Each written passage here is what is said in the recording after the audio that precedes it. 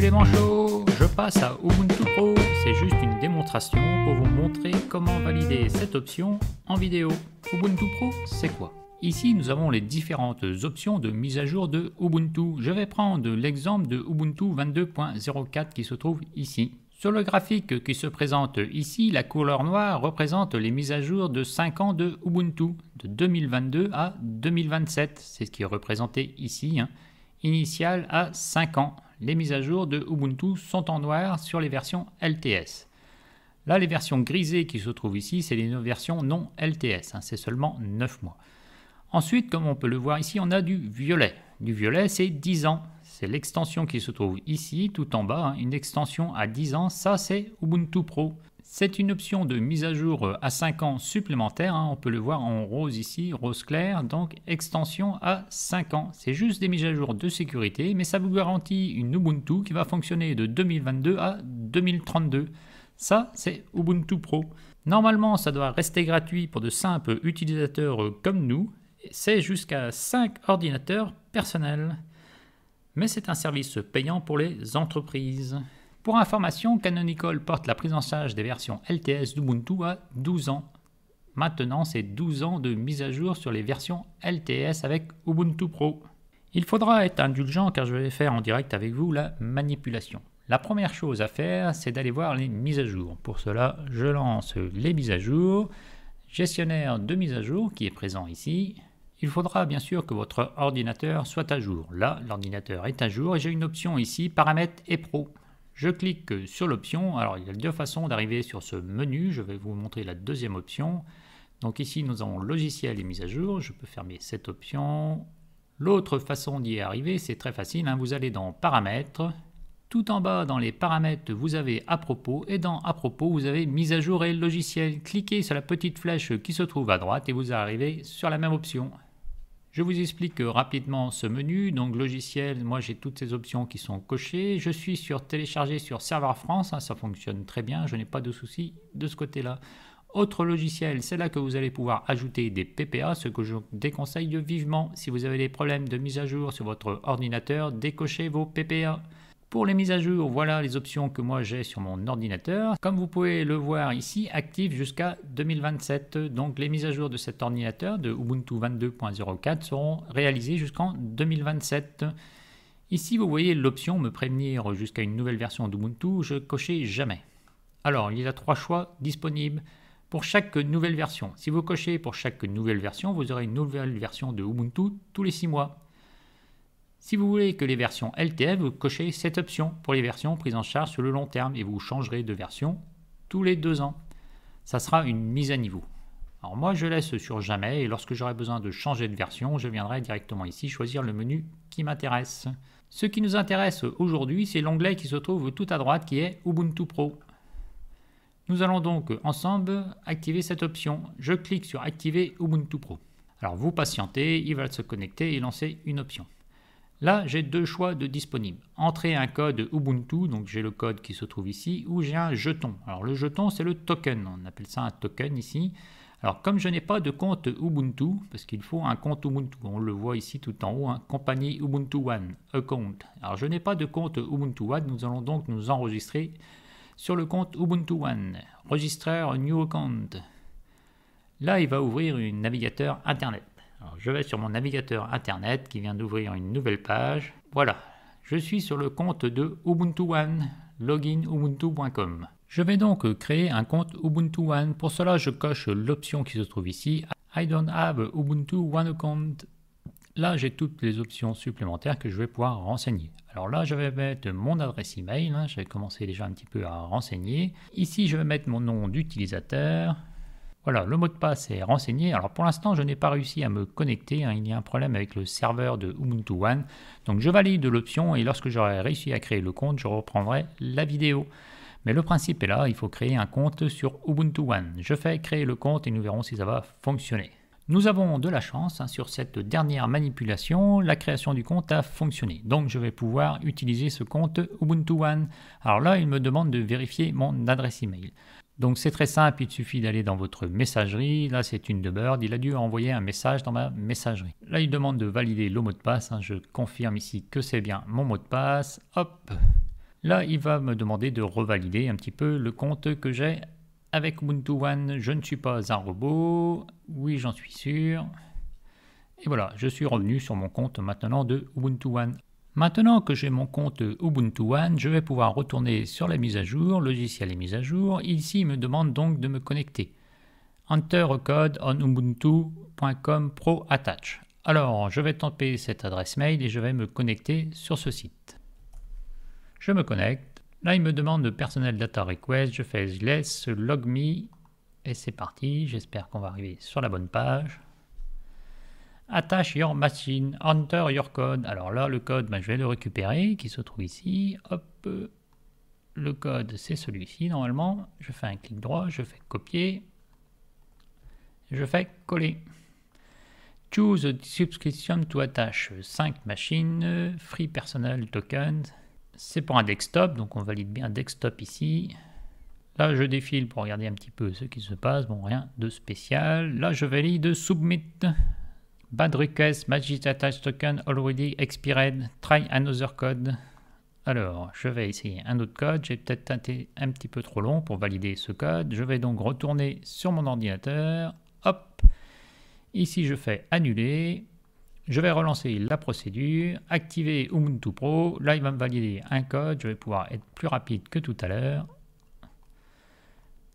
Un clic droit, je fais copier. Je reviens sur le site internet. Je valide le code, il est expiré. Donc maintenant, c'est un nouveau code. Free 5 machines. Donc là, j'ai le droit à 5 machines, 5 hein, machines personnelles. Je suis en desktop. Je fais submit. Success fully attached machine. Hop, impeccable. Je suis donc inscrit maintenant pour cet ordinateur à Ubuntu Pro. Je vais donc regarder ce qui se passe sur mon ordinateur. Et voilà, valide token. Donc le jeton a été validé. Je confirme ici.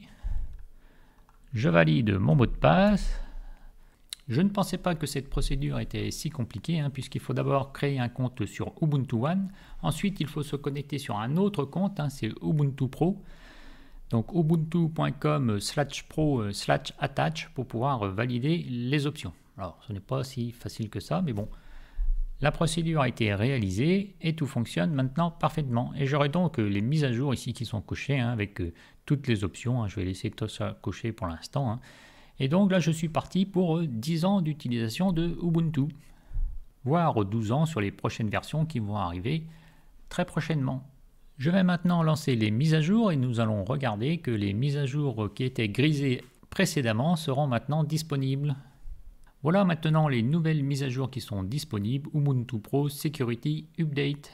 Elles ne sont plus grisées et je vais pouvoir faire les options. Ça, c'est les anciennes options qui étaient valides pour Ubuntu classique et là, c'est Ubuntu Pro qui sera mis à jour avec toutes les mises à jour de sécurité du système. Alors juste pour information, j'avais vu sur un forum une personne qui était passée à Ubuntu Pro et qui n'arrivait plus à faire ses mises à jour depuis qu'elle était passée à Ubuntu Pro.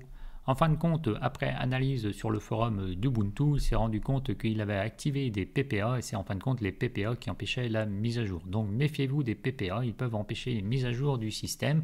Rien à voir avec Ubuntu Pro. Hein. Ubuntu Pro, c'est un logiciel qui va suivre les mises à jour de votre ordinateur avec des options supplémentaires et qui va vous permettre de maintenir à jour votre système pendant une dizaine d'années.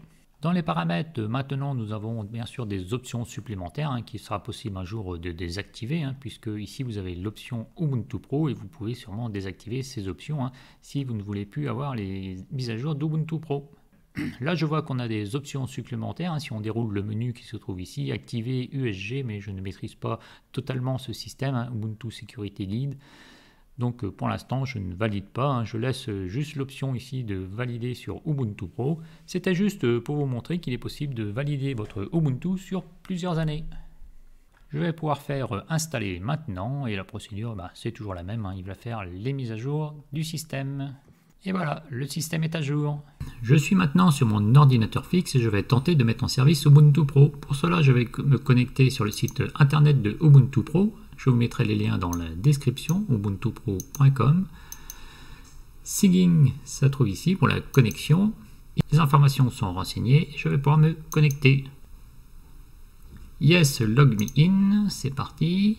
Et là, je vais pouvoir consulter Ubuntu Pro. Alors, je vais sur All Canonical, je vais sur Ubuntu Pro qui est présent ici, Et ensuite, je vais pouvoir voir mes subscriptions. Ici, Your Subscription est présent. Alors, je clique sur Your Subscription et là, je vais pouvoir consulter mon token. Ici, j'ai donc une clé qui est le jeton. Le jeton se trouve ici et je vais pouvoir récupérer sûrement cette clé et l'activer sur euh, Ubuntu Pro. Il existe ici une commande pour lancer directement l'installation et l'attachement de cet ordinateur à Ubuntu Pro. Je vais copier la commande, je vais dans un terminal, je colle la commande, le mot de passe,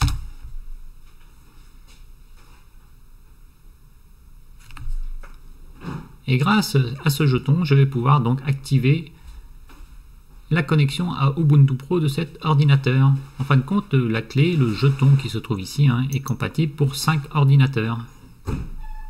Voilà, la souscription a été réalisée. Je vais vérifier sur l'ordinateur. Hop, je vais dans les mises à jour. Et voilà, Ubuntu Pro Security est activé. Je peux aller dans les paramètres, Ubuntu Pro, et comme on peut le voir ici, c'est activé. Je récupère donc euh, le jeton, le token. Je peux donc faire les mises à jour sur mon ordinateur fixe maintenant avec cette nouvelle clé. J'ai fait une mise à jour de la page avec euh, l'option qui se trouve ici, hein, actualiser, actualiser la page suivante. Hop, c'est parti. Donc là, il me dit que j'ai le droit à 5 machines. Maintenant, il me dit que j'ai 4 machines actives. Bon, je ne sais pas pourquoi il met 4 machines, hein, puisque je n'ai validé que 2 ordinateurs, mais il voit 2 ordinateurs à chaque fois. Voilà la procédure pour activer un deuxième ordinateur. Je vous résume ici rapidement la procédure qui est très facile à réaliser en suivant les instructions suivantes. Les trois étapes à réaliser sont très simples. Créer un compte Ubuntu One, tous les raccourcis seront dans la description. Ensuite, il faut aller sur le site de ubuntu.com.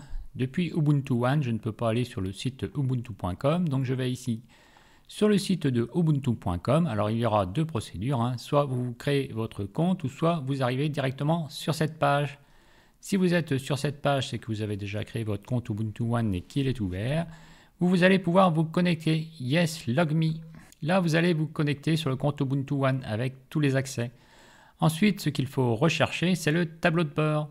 Alors, je vous ai mis ici le raccourci hein, directement dans l'étape 3. C'est le dashboard, le tableau de bord. Your subscription, donc vos souscriptions. Une fois que vous êtes connecté sur vos souscriptions, vous aurez sûrement le numéro de token, le jeton. Ensuite, il faut simplement avoir votre système à jour. Là, je vois que les logiciels sur cet ordinateur sont à jour. Je fais valider. Je vais pouvoir maintenant ouvrir un terminal et lancer la commande qui se trouve ici. Sudo pro attache avec le token qui va bien, le jeton, et la procédure d'installation et de mise à jour vers Ubuntu Pro sera réalisée. Voilà la procédure complète pour passer à Ubuntu Pro et être tranquille pendant 10 ans. Je vous dis Kenavo et à bientôt